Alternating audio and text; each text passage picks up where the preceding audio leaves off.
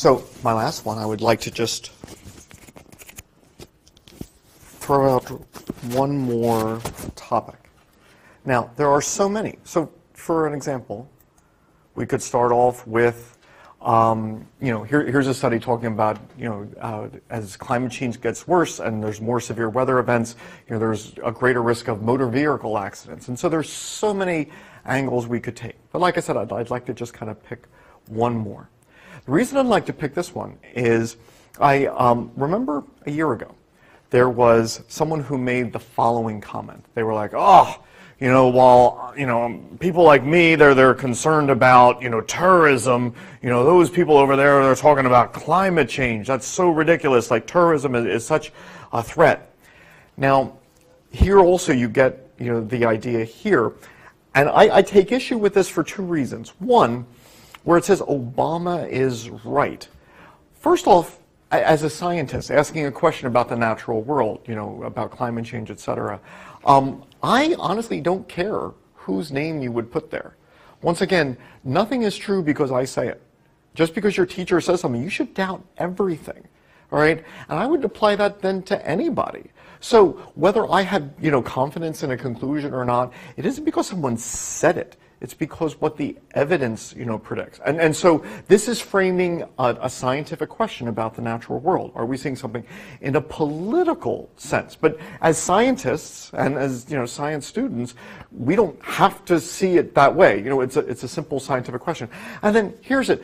It's right. Aha! I'm right, you're wrong once again, that's not the way we're approaching this. You know, your comment earlier, here in the website, look, we have high confidence in this, medium confidence in this, some confidence in this. So the data suggests this. If new data suggests something different tomorrow, um, I will hold a different conclusion tomorrow. Our conclusions are what the data suggests, regardless of who says it, and it's certainly not a political game of right or wrong. Um, but terrorism should be mentioned, all right? And once again, I'd just like to read a couple of uh, statements. Um, and so, uh, does weather, does climate change, does the incidence of severe weather, does changing weather patterns and drought, does that have any relevance with climate change or with terrorism? Just read something. Iraq was also severely affected by drought. Between 2007 and 2009, livestock numbers plummeted. Between 2008 and 9, crop yields declined more than 40%, um, and production dropped 45% from average uh, harvest. In response to this, up to 100,000 farmers, many of those you know, from areas around the Euphrates, abandoned their fields and migrated to urban centers. All right?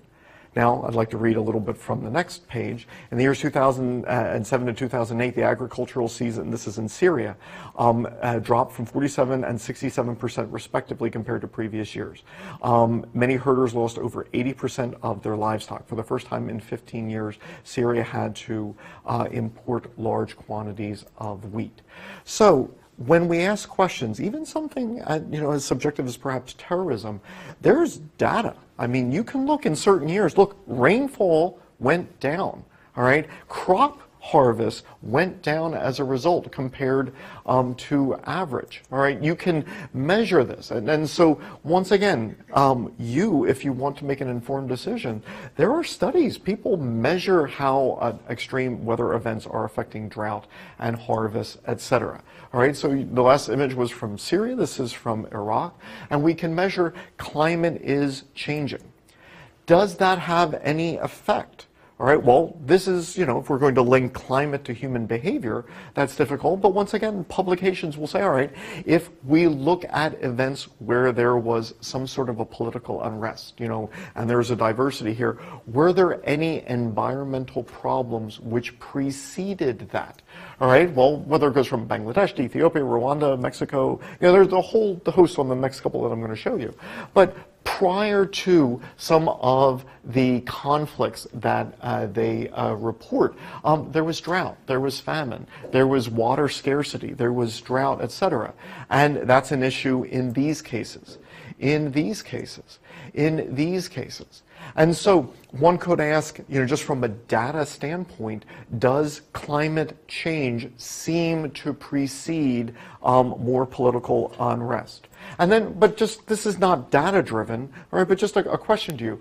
If there was going to be political unrest. In which of these two groups do you think it is the greatest threat? In which of the two groups here do you think it is? In which of the two groups here? All right, and, and when um, individuals are harvesting, making plans for the future, you know, I think it is likely to predict there would be a lower chance of political unrest, of a terrorist act that would attempt to undermine the system if the system is working for you, if I'm invested in it. However, if the system is failing, if there's no food, if I don't know where I'm going to live, then I think these are the circumstances which would then foster more unrest. And so once again, I would like to take, you know, an issue. We don't have to say, you know, right, wrong, it's this or it's that. Um, but certainly climate change seems to be a factor which contributes to the conditions under which uh, terrorism thrives.